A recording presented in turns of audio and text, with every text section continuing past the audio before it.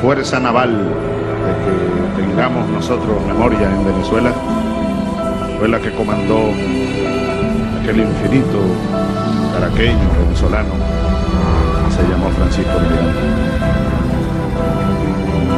Ahí nació, en modesto criterio, la Armada mirandina, bolivariana, revolucionaria, antiimperialista.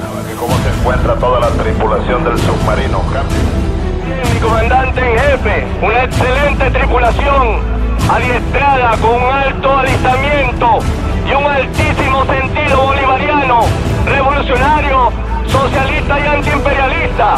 Somos garantía de la defensa integral de la nación. Solo quería decirles y manifestarle a todos los hombres y mujeres de la Armada el honor que sentimos este día 24 de julio, nacimiento de Bolívar y día de nuestra gloriosa Fuerza Armada Bolivariana, revolucionaria, antiimperialista, hombres y mujeres que luchan por la independencia y por el socialismo. Impresiona, emociona, es el poderío militar en el agua, hombres y mujeres en el agua defendiendo la inmensidad de esta patria, su independencia, su libertad.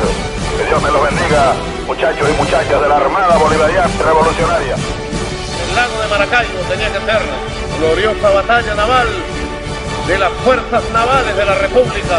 Saludos a todos los dignos oficiales de nuestra honrosa y heroica Armada Militar Bolivariana del siglo XXI que tenemos hoy. Felicitaciones por su día, dignos oficiales de la patria. Valientes, bolivarianos, orgullosos de ser venezolanos. Sigamos el ejemplo de Bolívar y digamos en una sola voz que viva el ejemplo eterno de los libertadores y libertadoras de América.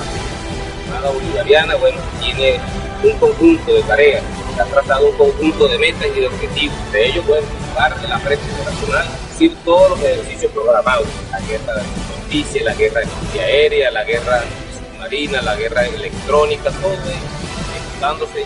y en pleno desarrollo. Y porque yo felicito a la Armada Bolivariana, soberanía, nuestros espacios atlánticos y para siempre.